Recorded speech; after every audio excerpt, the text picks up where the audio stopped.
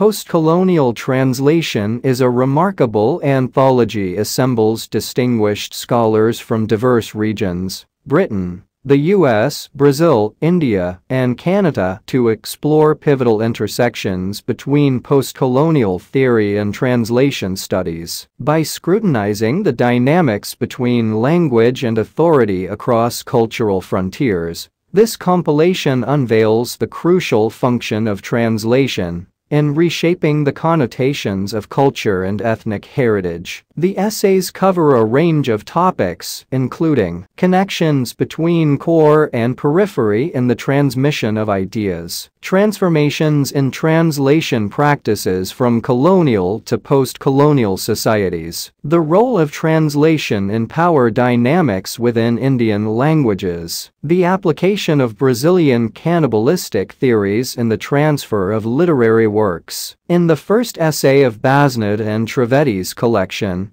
titled Post-Colonial Writing and Literary Translation Maria Tymoczko draws a parallel between literary translation and post-colonial writing. She argues that translators transpose a text, while post-colonial writers transpose a culture both engaging in intercultural expression. Despite differing constraints in presenting cultural elements, Tymoczko contends that these disparities are more apparent than substantive. Much like literary translations tend to be simpler than their source texts, post-colonial authors necessarily simplify the cultural contexts they depict. Both processes involve unavoidable selectivity and interpretation, with room for lexical perturbations influenced by the source language or culture. Post-colonial literature often explicitly provides cultural information, akin to translations. Tymoczko also delves into considerations of patronage, audience, and the shared characteristics between post-colonial and minority culture writing. While not always universally persuasive or productive, this initial essay's thesis sets the stage for the subsequent chapters. GJV. Prasad in writing translation. The Strange Case of the Indian English Novel further explores this idea within the Indian context. He posits that all Indian English writers engage in a form of translation through their writing process. Their objective is not to replicate the specific features of English spoken in their depicted regions, but to create an English that aligns with their translational creative goals. Prasad analyzes lexical choices in works by writers like Mulk Raj Anand, R.K. Narayan, Bhabani Bhattacharya, Raja Rao's Kanthapura, and Salman Rushdie's Midnight's Children. These writers employ various strategies to imbue their works with a translational quality, occupying a space between Anglo-American English and Indian culture. Sherry Simon's translating an interlingual creation in the contact zone. Border writing in Quebec shifts the focus to Quebec. Here, writing and translation converge as practices of creation in the contact zone between cultures. Simon contends that the role of the translator is no longer exclusive, it overlaps with that of the writer and the contemporary Western citizen, as well as many bilingual individuals in colonized nations. She examines the works of Jacques Brault, Nicole Brossard, and Daniel Gagnon to illustrate how language contact and translation become generative forces in literary creation. Simon concludes that our current understanding of translation emphasizes discontinuity, friction, and multiplicity rather than the creation of new commonalities. Andre Lefevere's compassing the other presents a theoretical framework for approaching translation. Lefevere argues that translators primarily engage with two interconnected grids,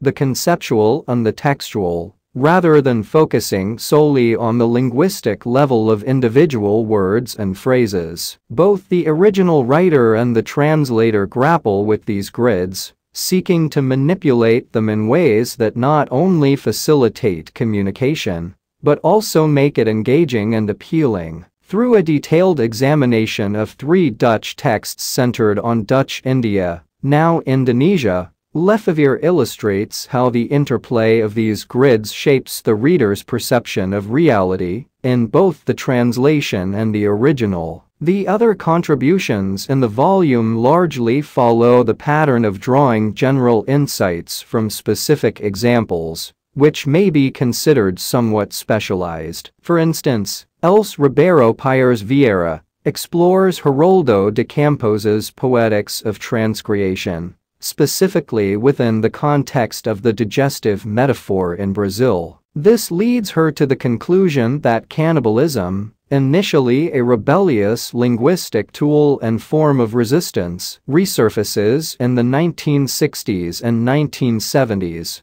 as both a cultural metaphor and philosophy. Vinay Dharwadker delves into A.K. Ramanujan's theory and practice of translation, while Rosemary Arrojo's interpretation as possessive love, Helene Cixous, Clarice Lispector and the ambivalence of fidelity scrutinizes Cixous's advocacy of Lispector's work, ultimately arguing that Cixous's feminist interpretation may inadvertently perpetuate a form of colonization. Shifting Grounds of Exchange, B.M. Srikantaiah and Kannada translation by Vanamala Viswanatha and Sherry Simon, examines the work of writer and translator Srikantaiah, 1884-1946, in the context of Indian literature and translation, as well as the broader scope of literary translation in Canada. The authors assert that translation practice is inseparable from a theory of culture, reflecting the evolving power dynamics that influence and uphold national and cultural boundaries. Ganesh Devy's translation and literary history, an Indian view takes a broader perspective, briefly discussing European approaches to translation studies and proposing that an exploration of the translating consciousness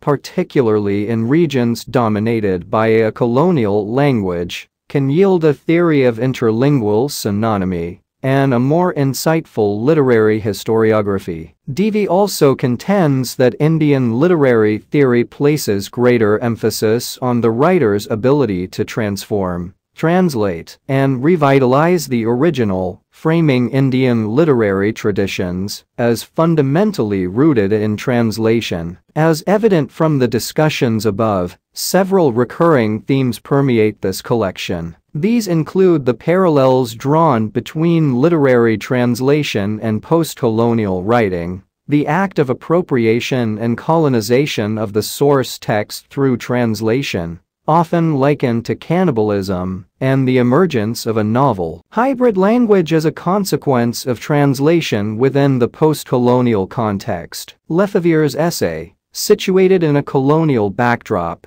stands out for its innovative theoretical approach, one that could potentially be applied beyond the realm of translation to various forms of writing. The case studies presented illustrating how translation has been utilized in diverse cultural settings prompt a critical question that, regrettably, remains unaddressed in these essays. What is the translator's role in relation to both the source and target cultures in the post-colonial context? Moreover, though only implicitly touched upon here, it raises the question of whether post-colonial translation studies should differentiate between the direction of the translation developing distinct theoretical frameworks for a. Translations from the dominant language into the colonized language, and b. vice versa. The metaphor of cannibalism extends to both the source text and the standard language. Several essays underscore the assimilation of the source text and culture,